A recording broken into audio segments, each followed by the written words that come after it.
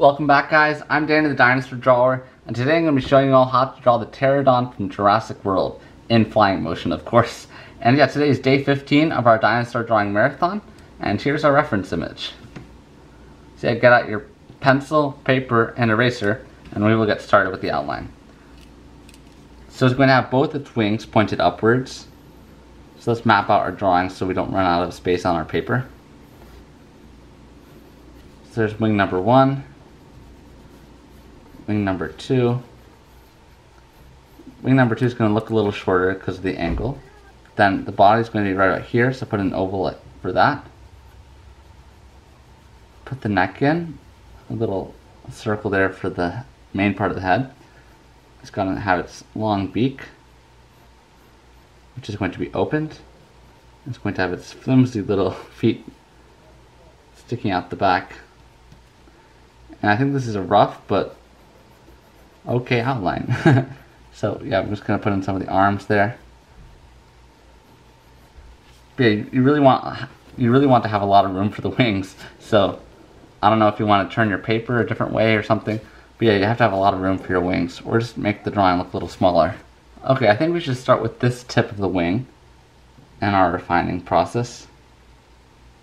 So I'm to make this one long line. That looks pretty good. Let's continue at the top.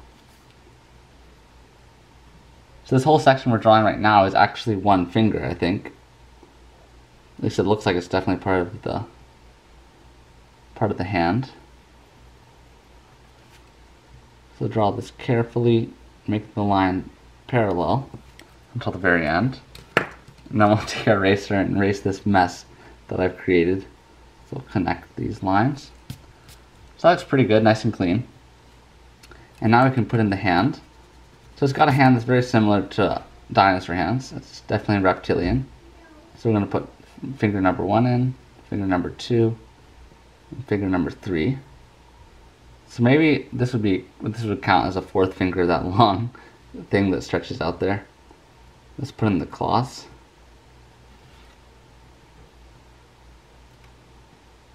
And yeah, just add some wrinkles or maybe some scales on these fingers. And they're looking pretty good. And now I'm just gonna erase some of these some of this mess here. So this arm is going to curve downward. And the elbow is going to be right about here. Then the upper arm is going to curve to where the shoulder is, which is right about here.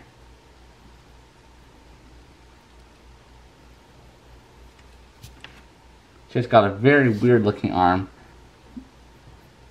Very bat-like, I'd say.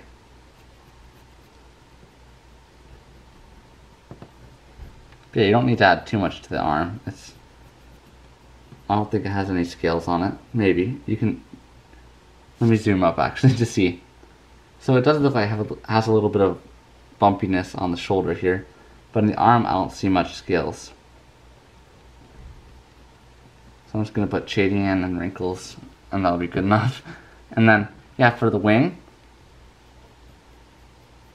you should definitely add some color. So I'm going to do that by yeah, putting a lot of long strokes with my pencil. I'm definitely going to cross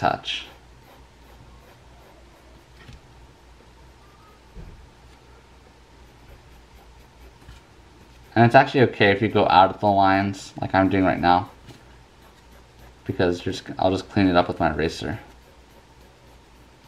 If I was doing this with markers, then yeah, it would be a problem. but yeah, since we're doing it with pencil, no problem at all.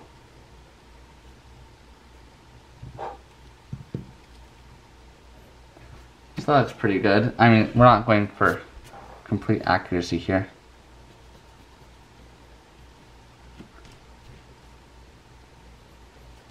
So let's start wing number two. Tell you to tell you the truth, guys, I almost never draw flying reptiles, like almost ever. Probably should, because I'm not that good at drawing them. But yeah, this is good practice for me and you guys. Okay, so we're going to have this opposite arm. which again looks so weird the way it's curved. I'm going to put in those three fingers with the claws. Then that fourth finger.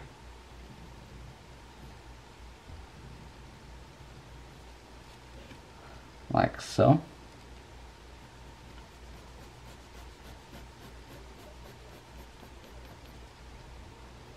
So the top wing will have a little bit less of shading. So we'll just shade the bottom portion there.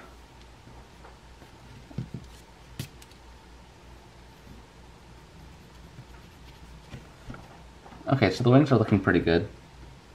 Let's add a few more lines to the arm here.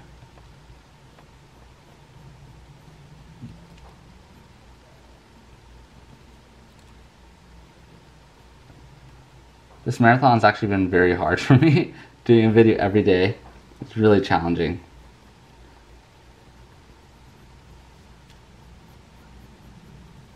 I'd say it's actually almost more impressive to be the one watching the video for 26 days is a big commitment. so right now I'm putting in the body.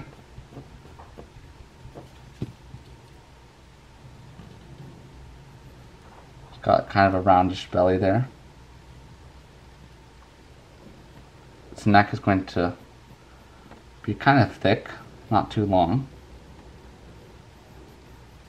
And then it does have some feathers here, or not feathers, it looks more like fur almost on the belly, so we'll put those put that in.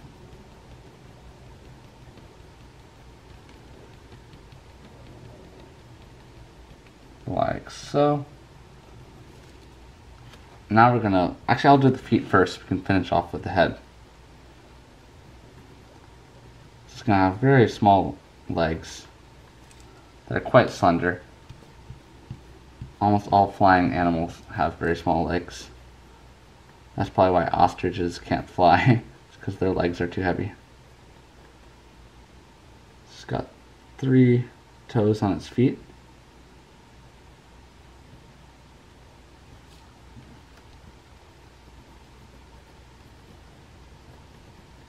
And it does have a tail, but it's quite short. It's not like that pterodactylus tail, which is like super long and has like a little dragon point at the end.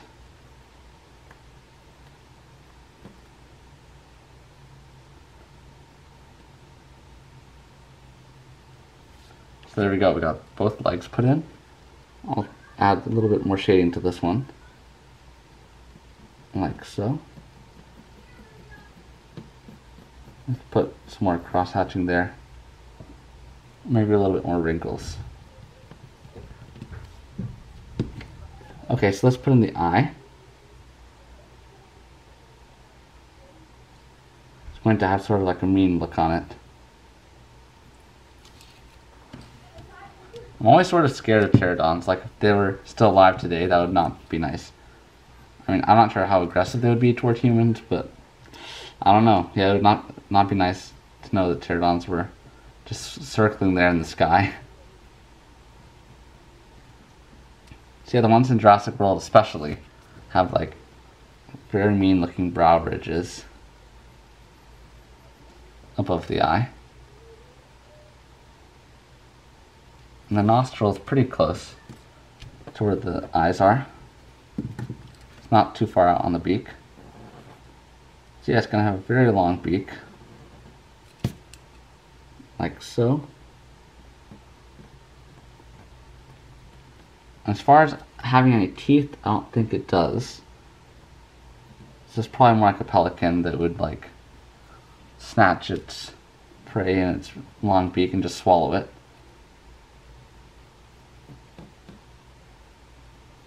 Dimorphodon is the one that looks more like it's got all those teeth meant to like, yeah, actually bite the, actually maybe shoe the fish it caught.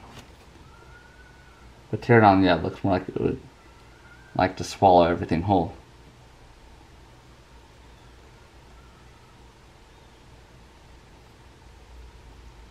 So if you guys want to see more of me drawing flying reptiles, please comment below, because I really think I should. And yeah, maybe drawing a Quetzalcoatlus or a Dimorphodon would be fun after this Pterodon. This was just on my list of things to draw from the marathon, so that's why I'm drawing it right now. But yeah, I would lo love to do like a better tutorial on this. Maybe a more realistic one. But yeah, today I'm kind of short on time. So that's why I'm just putting a little drawing together for you guys.